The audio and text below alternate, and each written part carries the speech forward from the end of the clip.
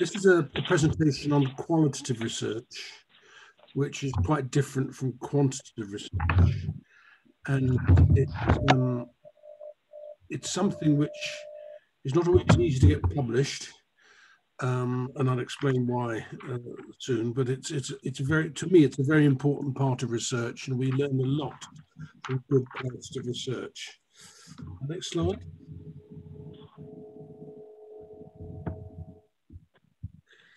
Qualitative research was once frowned upon and often difficult to get published. It was not seen as scientifically rigorous. And I certainly experienced this myself in the early days when I was a, a young psychologist working in addiction. Trying to get stuff published on qualitative work was, you know, even back in the 80s and 90s was very hard, 90s, very hard. Um, many journals wouldn't publish qualitative research some of them still do not know have the, or have the reviewers to referee it, and, that, and that's one of the problems because unless uh, the reviewer understands the processes, then you're not going to get a good review for your work. It's now much more acceptable and provides a valuable insight into our subject. Um, if you think about one of the things about um, addiction is it's a it's a fairly quite often it's a fairly secret thing in the sense that um, people um, do things secretly, and therefore good qualitative research starts to actually understand why people behave in certain ways, and I'll go into that a bit more. Next slide. Once it became acceptable, question of whether you use qualitative or quantitative methods. And back in those days, it was not acceptable to use both. So you either did one or the other. It's now much more common to use mixed methods, especially in dissertations. And you can use quantitative methods to examine the prevalence of a problem and qualitative methods to look at the lived experience of it. And I give you an example of my, um, I did a doctoral dissertation about 25 years ago, and it was on something called needle fixation, which is about people who inject compulsively, whether they have a drug or not. And we could measure it quantitatively by, by doing a survey, but until we actually sat down and talked to people who had the problem uh, using qualitative methods, we didn't really understand why they did it and, and some of the experiences behind it. So it gives you a much richer experience if you have good qualitative research. Next slide. In quant quantita quantitative research, the observations usually, usually follow a systematic scheme whereby the classification of the data is already determined when the data collection starts. So you have a, a, you know what you're doing, you know what the, the scheme is, you know how data will be classified, um, and that's all, all determined before you even start when you when you've designed the research. It makes it possible to gather large data sets for numerical analyses. Understanding the data um, will be restricted by the concepts on which the collection of data was based. So if you have a huge data set, you can only really understand it uh, on the basis of how it was collected right at the start. Next slide. In qualitative research, the observations, behavior, etc., are usually fewer and the researcher's preconceptions of the data or phenomena do not determine the research results to the same extent as in quantitative research.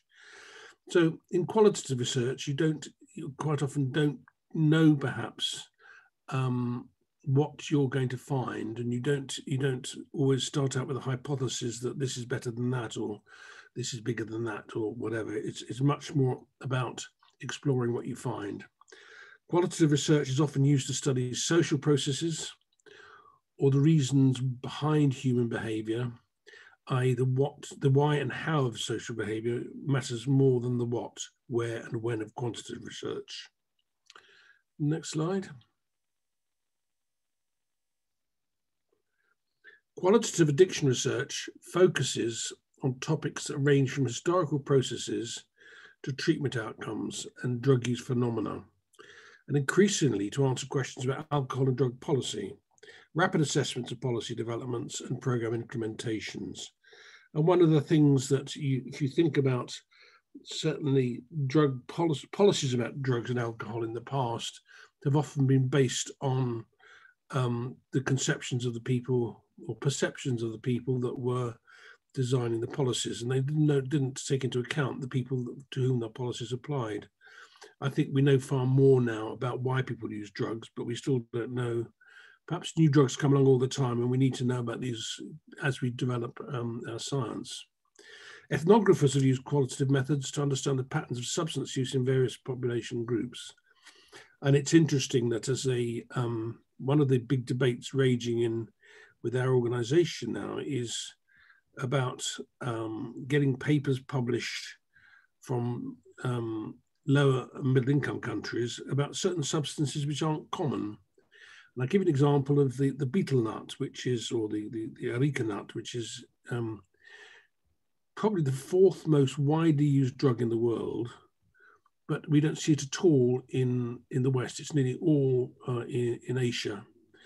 Um, but I've recently I've had two papers submitted to me about it, and it's fascinating. And it is it is because it is um, a drug which does have certain dangers associated with it. It needs to be publicised, but a lot of um, that needs to be done through qualitative research to really understand it. Okay, next slide. The process of processes of classification, deduction, and interpretation are fundamentally similar for both quantitative and qualitative research methods. Quantitative an analyzing methods are much more clear cut than qualitative methods, and various steps can be more clearly distinguished in a, than in a qualitative study. So, if you're doing a um, a, a, piece of quantitative research, you will, you know, when you design the research, you'll already design how you're going to measure it, how you're going to analyze it, what statistical tests you're going to use. You can't always do that so well in qualitative research. In qualitative work, the collection and processing of the data are more closely intertwined, especially when the researchers personally collect the data. They will not be able to avoid problems of interpretation during the collection phase. So if you are, you know, collecting data and you're talking to people, you will start interpreting and um, understanding it as you collect the data. Next slide, please. Another issue is that qualitative anal analysis is not restricted to an unambiguously demar demarcated data set in the same way a quantitative study is it can be a good idea to, for researchers to keep a detailed field diary, make notes of discussions so that they may refer back to these when analysing the data. They may also later record a detail they had not taken note of earlier. And in the analysis, this must be described in an honest and convincing way. So one of the things about qualitative research is you may, you may think that you know certain things about it, but as you start collecting data, you may find that there are things you didn't realize that you didn't understand and and it, it's it's important to be flexible enough and take note of those things as you do it. Next slide.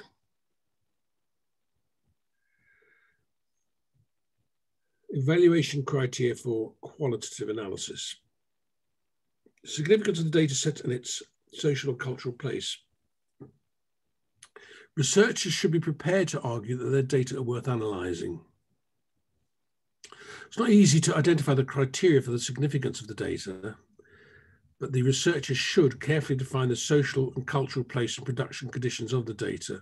So what that's saying is that that um, it's not again not as clear cut as in quantitative research that this data is actually very important, and you need to be able to to define and argue the, the, the case for that.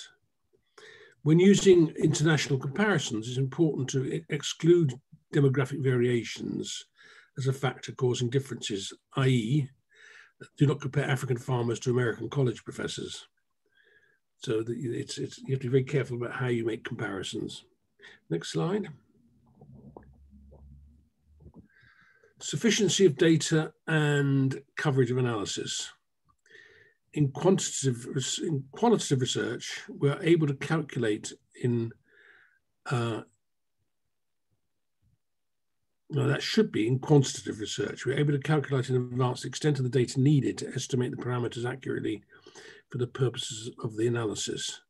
So if you, in that first paragraph, read, read that as quantitative research. You know, if we're doing a, a quantitative research project, we know how many people we work, we calculate how many people we need to survey or measure their treatment or whatever before we start the research. In qualitative work, this is different as we have no method for that estimate. And usually we talk about data saturation. Data is collected, data collection is terminated when no new features are revealed.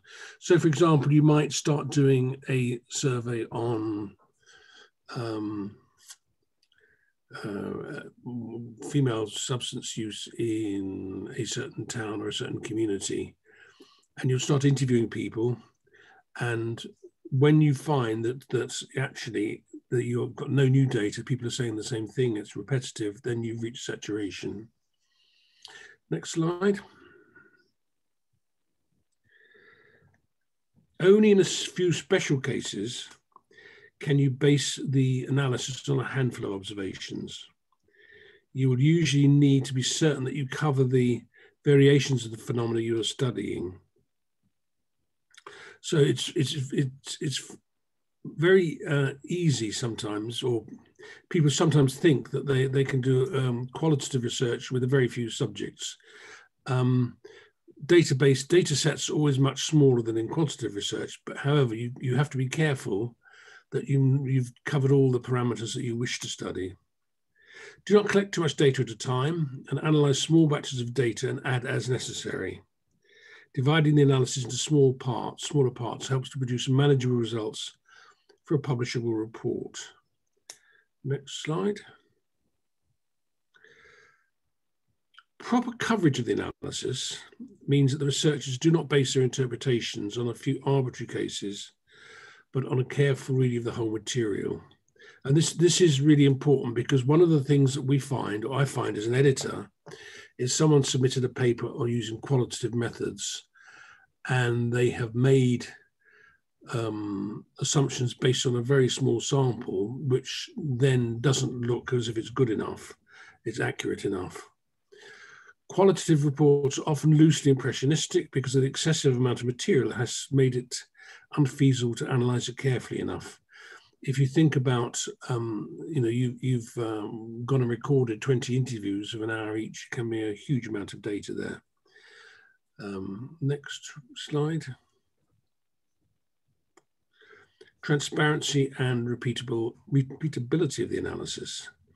And one of the things that um, is always true of all research, whether it's qualitative or quantitative, is that it should be transparent. The analysis should be transparent. You should say exactly what you're doing, and someone else should be able to repeat the work that you've done.